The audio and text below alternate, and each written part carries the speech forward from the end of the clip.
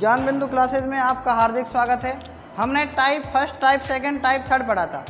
आज हम टाइप चौथा पढ़ रहे हैं, श्रृंखला के गलत पद को ज्ञात करना। आपको ये पता होना चाहिए कि इसमें एक अक्षर गलत होगा।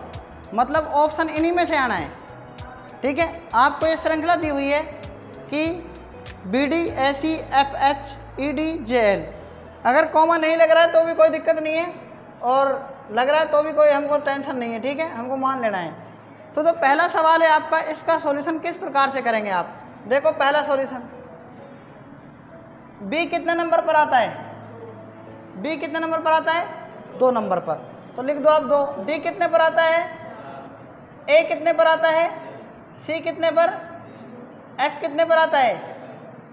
छः नंबर पर। और एच कितने नंबर पर? ई e कितने पर? और डी कितने पर? चार। जे कितने पर? और ये कितने पर?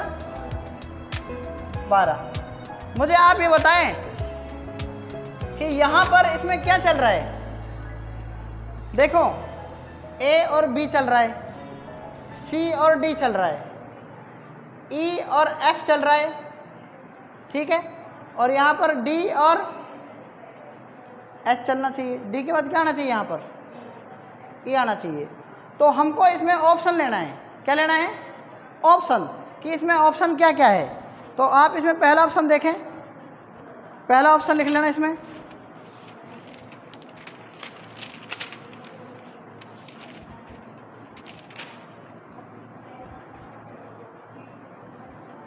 B D S E F H E D B D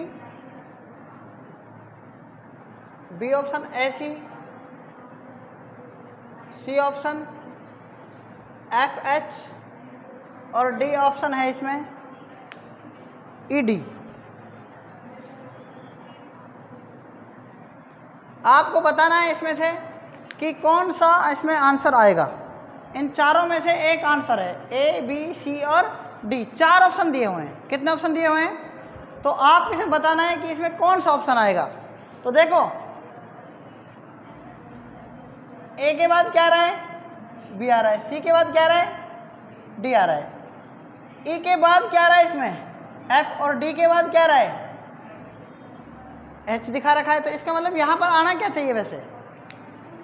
यहाँ पर तो एस इसका मतलब एफ़ आना चाहिए ना? या जी आना चाहिए? जी आना चाहिए. क्या आना चाहिए? तो इसका मतलब गलत कौन सा हो गया इसमें? ई डी गलत हो गया. बात आई कि नहीं आई समझ में? ए के बाद बी आ रहा है सी के बाद डी आ रहा है। ये तो सही है। ई e के बाद क्या आ रहा है? एफ़ आ रहा है। ये तो बात सही हो गई ना? और यहाँ पर अगर जी होता तो यहाँ पर क्या आता? एच आता। इसका मतलब गलत ये है या ये है? ये गलत है। पहला सवाल समझ में आ गया नहीं आए आगे ढंग से? सेकंड सवाल पर चलते हैं। देखो, एक को किससे गुना करें? कि दो आ जाए। दो से गुना करेंगे एक, दो नहीं, दो। फिर दो को किससे गुना कर रखा है? कितना आ जाएगा? छः आ रहा है कि नहीं आ रहा बताओ? छः को किससे गुना कर रखा है? कितना आना चाहिए? चौबीस आ रहा है। चौबीस को किससे गुना करेंगे? कितना आना चाहिए? चौबीस पंजा एक सौ बीस, जो कि क्या है? ये ये क्या है? गलत है। बताओ, समझ में आया कि नहीं आया? तो इसमें तीस की जगह क्या आना चाहिए? एक सौ बीस आना चाहिए। क्या आना चाहिए? एक सौ बीस। तो इसमें तीस गलत माना जाएगा। क्लियर है ना बात? तीसरा देखो आप इसमें आगे। एक चार पच्चीस, दो सौ छप्पन, इकतीस, पच्चीस, छियालीस छः सौ छप्पन, बयासी, पैंतीस, तैंतालीस। ठीक है? देखो यहाँ पर इसके सॉल्यूशन के लिए हमें क्या करना पड़ेगा? एक का वर्ग कितना होता है? दो का वर्ग कितना होता है? और यहाँ पर पाँच का वर्ग कितना है? पच्चीस। तो इसका मतलब यहाँ पर कोई भी सीरीज़ नहीं बन रही है अभी तो। नहीं बन रही ना? हम क्या करेंगे? एक की घात एक करेंगे तो एक आएगा। अगर दो की घात दो करेंगे तो कितना आएगा? चार। यहाँ पर क्या है? पाँच की घात का दो दे रखा है। है ना? यहाँ पर क्या है? दो की घात चार है। एक मिनट। चार की घात चार। देखो, बताओ मुझे, आप बताओ। चार की घात चार का मतलब क्या होता है? दो सौ छप्पन होता है कि नहीं होता है? चार का स्क्वायर सोलह, फिर चार का स्क्वायर सोलह। सोलह सोलह क्या होता है? दो सौ छप्पन होता है। अगर मैं पाँच की घात पाँच करूँ तो इकतीस पच्चीस आएगा। अगर मैं छः की घात छः करूँ तो ये आएगा। अगर मैं सात की घात सात करूँ तो ये आएगा। ठीक है? इसका मतलब यहाँ पर तीन की घात अगर तीन आता तो यहाँ पर सत्ताईस आना चाहिए था। लेकिन यहाँ पर कितना दे रखा है? पच्चीस। तो इसमें गलत कौन सा हो गया? बैठ गया समझ में नहीं बैठा। ठीक है? आगे देखो। आप मुझे बताएँ, इसमें इसमें देखो आप। ये किससे डिवाइड है सारे? बताओ। ये सारे किससे डिवाइड हैं? ये बताओ, ये तीन से डिवाइड हैं कि नहीं है? भाई, अगर मैं बात करूँ 216 में, किसका भाग देंगे आप? आठ का भाग दे लो, चाहे बारह का दे के देख लो, चलो। ठीक है? बारह का देखो।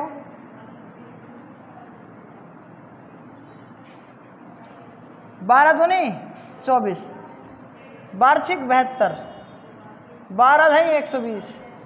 बारह कम बारह, नौ बचेगा बारह आठ छियानवे। बारह छियानवे होता है ना? क्या ये बारह से डिवाइड है? तो इसमें क्या आएगा आंसर एक सौ तिरसठ आएगा। मतलब ये सारी क्या हैं? सम संख्याएँ हैं और ये क्या है? विषम संख्या। हमें ज़्यादा ऑप्शन से पता लगेगा कि आंसर क्या आएगा। ठीक है? इसमें जो ऑप्शन से आ रहा है, वो आ रहा है कितना? आंसर तो एक सौ तिरसठ ही आ रहा है। कितना आ रहा है? एक सौ तिरसठ ही आंसर आ रहा है मतलब ये गलत है। लेकिन हमारे पास इसमें ऑप्शन है तो हमें ज़्यादा पता लगेगा। सबसे पहले आप इसका अंतर चेक कर लो। छः में से तीन गए तीन, इक्कीस में से सोलह गए कितने? पाँच। छः में से तीन गए तीन, इक्कीस में से सोलह गए पाँच। इसमें अंतर देखो। बहत्तर, बारह में से चार गए आठ छः में से दो गए चार, अड़तालीस। यहाँ देखो। दस में से दो गए आठ, बारह में से सात गए, ग्यारह में सात गए चार। अब मुझे आप ही बताएँ, यहाँ तैंतालीस का है, इसमें देखो तेरह, तीन का तीन और सोलह में से बारह गए चार।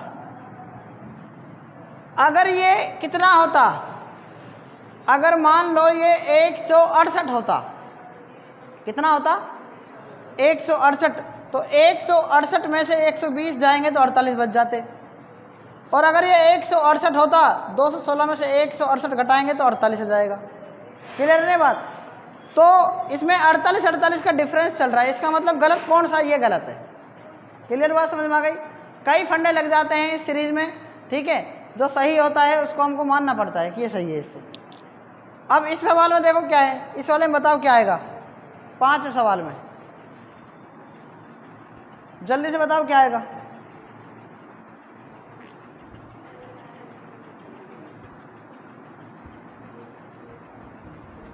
नहीं पता लगा। थोड़ी सी आपको क्या है प्रैक्टिस करनी है, ठीक है? दो पंच कितना आ रहा है? अगला वाला आ रहा है दस। फिर पाँच, दस को गुणा कर रहे हैं तो पचास आ रहा है अगले वाला। फिर दस को पचास से गुणा करेंगे, पाँच सौ आ रहा है। क्या पाँच सौ को पचास से गुणा करने पर यही आएगा कि पाँच हज़ार? पच्चीस हज़ार आना चाहिए ना? पचम पच्चीस हज़ार आना चाहिए ना यहाँ पर? लेकिन क्या दे रखा है? पाँच हज़ार दे रखा है। तो ये गलत है इसका मतलब। क्लियर है? छठे सवाल की तरफ़ देखो। ग्यारह, तेरह, पंद्रह, सत्रह, उन्नीस और ये तेईस। बताओ कौन सा गलत है? जल्दी से बताओ इसमें कौन सा गलत है? तेईस गलत कैसे है? पंद्रह गलत है। कितना गलत है? क्योंकि ग्यारह अभाज्य संख्या है, तेरह अभाज्य संख्या है, पंद्रह क्या है? पंद्रह विभाज्य नहीं है, भाज्य संख्या है ये। मुझे विभाज्य सुना था। ये सारे क्या हैं? अभाज्य हैं। और पंद्रह क्या है? भाज्य। भाज्य संख्याएँ और अभाज्य संख्याएँ उन्हें कहते हैं। सबसे पहले मैं बात कर रहा हूँ अभाज्य संख्या की। मैंने कहा आपसे दो में दो का भाग जाएगा, दो में एक का जाएगा, और किसी में जाएगा दो का? दो का और किसी, दो में और किसी संख्या का भाग जाएगा क्या? नहीं जाएगा ना? तो दो अभाज्य संख्या हो गई, ठीक है? और तीन की बात करें, तीन में तीन का जाएगा, तीन में एक का जाएगा, तीन में और किसी का जाएगा, नहीं जाएगा ना? ये भी क्या हो गई? अभाज्य संख्या हो गई। और जो पंद्रह है, पंद्रह में पंद्रह का जाएगा, पंद्रह में एक का जाएगा, और पंद्रह में तीन का जाएगा, पंद्रह में पाँच का जाएगा इसलिए ये संख्या क्या हो गई? ऐसी संख्याएँ जिनमें किन्हीं दो संख्याओं के अलावा तीसरी संख्या का भी भाग चला जाता है, उन्हें हम भाज्य संख्याएँ कहते हैं। समझ में आ गया कि नहीं आए? ठीक है? और जिन संख्याओं में जैसे एक और दो संख्या के अलावा और किसी का भाग नहीं जा रहा, उन्हें हम क्या कहते हैं? अभाज्य संख्या। एक बात याद रखना समझू, ये बताना है तुझे कि ये एक भाज्य है या अभाज्य है? हैं? कौन सी संख्या है? ये भाज्य संख्या है या अभाज्य? ये याद रखना, ना तो ये क्या है? भाज्य है। और ना ही क्या है? अभाज्य है। बता रहा हूँ। देखो, एक जो है ना, एक। ना तो भाज्य है और ना ही अभाज्य है। कैसे? एक में एक का जाएगा, एक में एक का जाएगा। आप बताओ कौन सा एक है? यहाँ पर दोनों संख्याएँ अलग अलग दिख रही है, लेकिन यहाँ पर क्या दिख रही है? एक ही दिख रही है, नहीं दिख रही है। इसलिए ये क्या है? ना तो भाज्य है और ना ही अभाज्य है। ऐसे दिखनी चाहिए अलग अलग इस प्रकार से। इस इस प्रकार से दिखनी चाहिए। ठीक है? ये तो वैसे इधर भी तीन भी आ गए, पाँच आ गए तो ये भाज्य हो गई। ना बैठी समझ में? मैंने लिया उन्नीस। उन्नीस में उन्नीस का जाएगा भाग, उन्नीस में एक का जाएगा। नीचे वाली संख्याएँ अलग अलग दिखाई देनी चाहिए, भाज्य का ये तरीका है। और विभा इसमें भाज्य का तरीका क्या है? ऐसे दो से और ज़्यादा देखनी चाहिए, दो से चाहे एक ही ज़्यादा हो तो भी वो भाज्य बन जाएगी। ठीक है ना? लेकिन ये संख्या देखो एक में एक का, एक में एक का, कौन सा? सेम मिल रही है, नहीं मिल रही?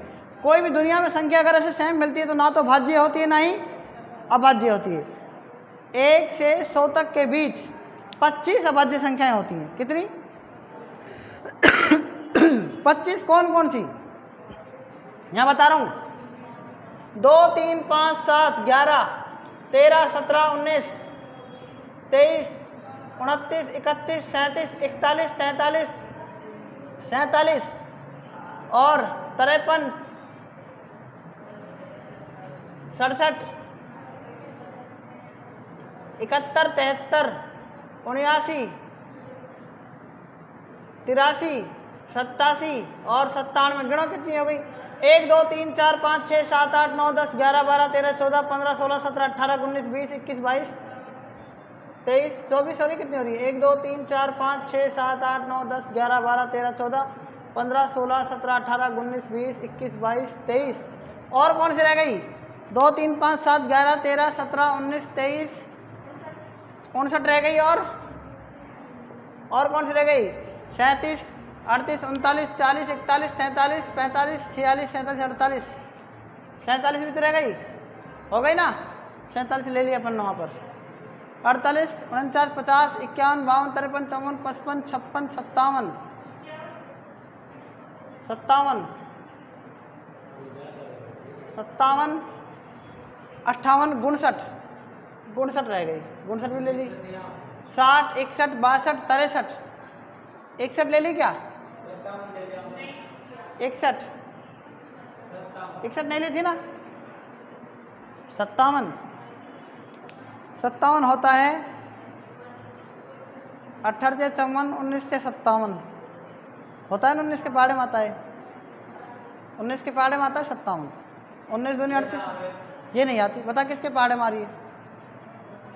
दो के पहाड़े में और कौन? दो आता है, लेकिन और तो नहीं आता ना।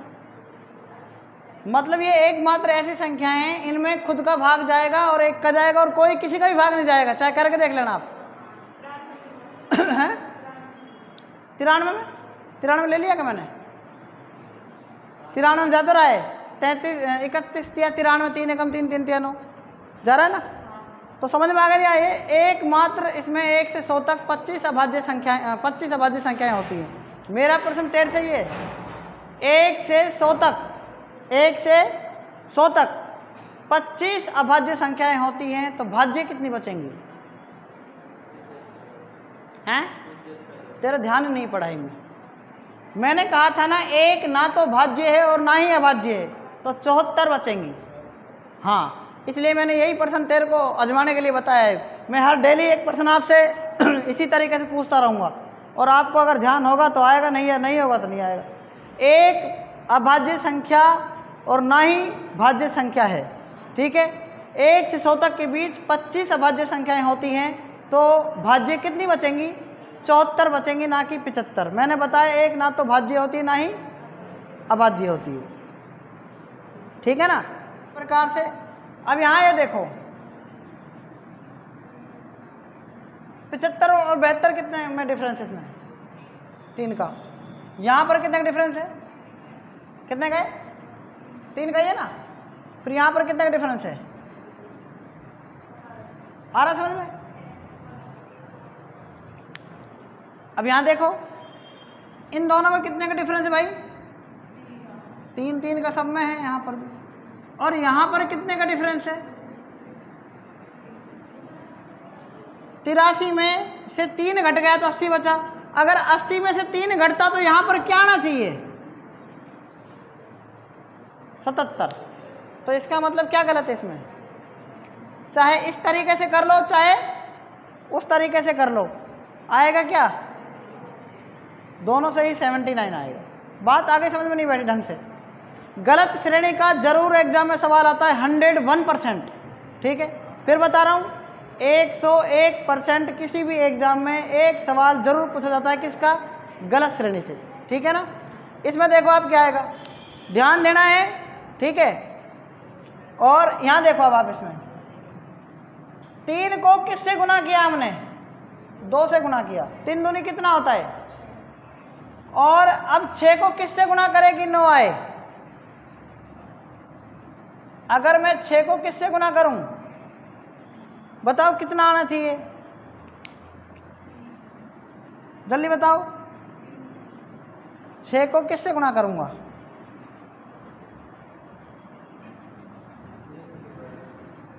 हैं?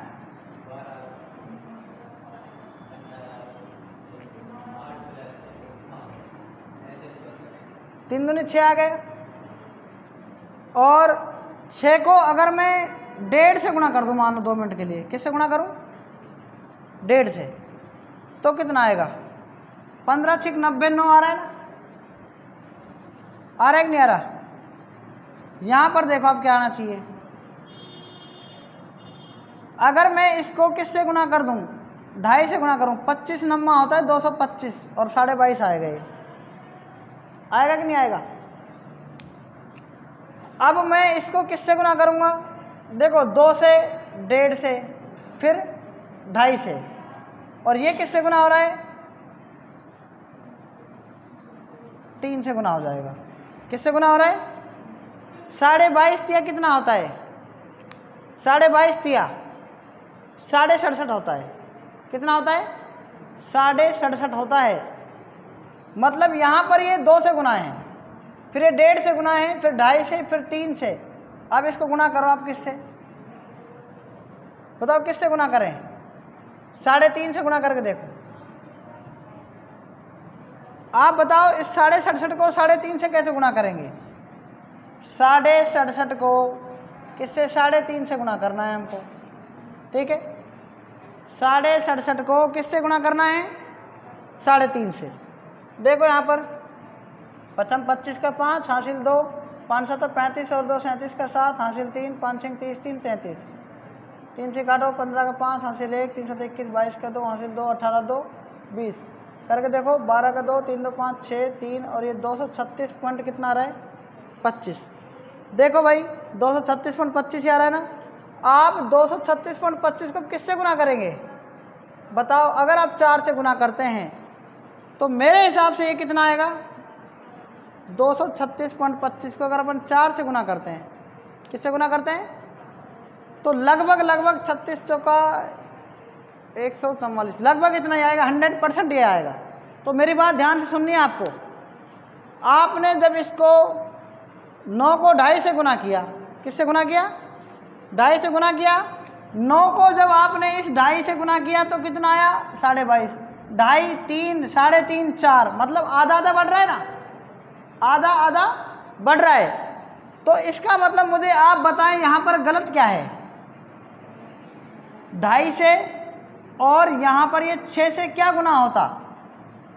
छः दुनी बारह। देखो, यहाँ पर तो ये छः गलत है। क्या है? यहाँ पर कुछ छः ऐसा होना चाहिए कि यहाँ पर एक से गुना होए और फिर छः किससे, इससे डेढ़ से गुना होता। नहीं बेटी बात समझ में? इन तीनों में से ही आंसर है। कहने का मतलब मेरा ये है। तीन छः और नौ में से ही क्या है? आंसर। तो मैं आपको पहला ऑप्शन ले रहा हूँ। क्या ले रहा हूँ? पहला ऑप्शन। देखो इसमें, लिखो ऑप्शन इसमें। छः नौ, साढ़े बाईस, साढ़े सड़सठ, सात। लिख लो इसका ऑप्शन। ये आई के एग्ज़ाम में आया हुआ प्रश्न है। छः नौ साढ़े बाईस, साढ़े सड़सठ और सात। पाँच ऑप्शन है।